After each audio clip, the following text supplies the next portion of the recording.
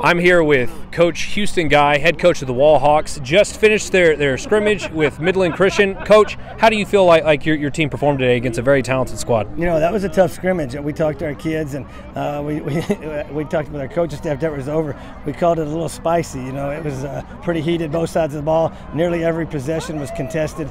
Uh, our kids got a little heated, their kids got a little, little heated. And, uh, it was a fun scrimmage to be a part of. You know, it was a uh, back and forth. You know, they're a very talented ball club, and you better play every possession uh, like it's uh, uh, for a touchdown, and, and, they could take it to the house at any point in time. And so uh, I thought our kids fought. We, you know, we moved the ball at times really well. You know, they moved the ball at times on us, and so it was a scrimmage that I think back and forth. I think both teams got some stuff that we can go back and work on.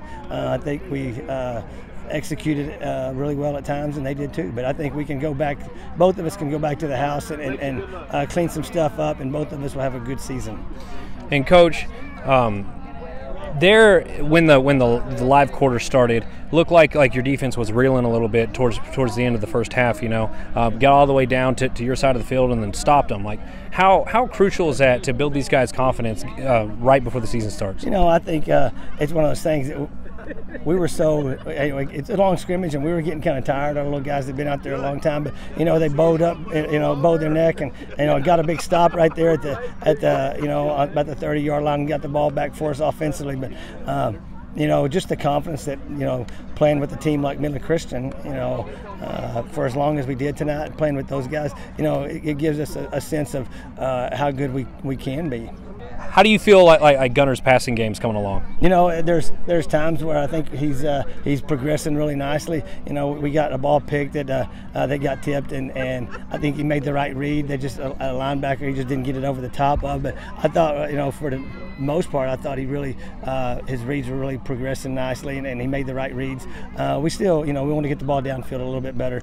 I didn't think I didn't think we really did a very good job of getting the ball vertical tonight, but some of it was how they were playing us defensively defensively in their secondary coverage, and you know, kind of covering up uh, covering up that and staying deep on us. So, you know, we'll keep working on that, and, and, and he'll keep improving.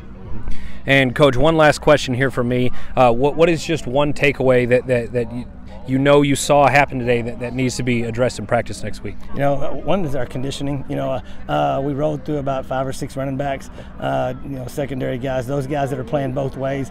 Uh, they they even understood how much that they're going to have to be on the field and how good their conditioning has to be.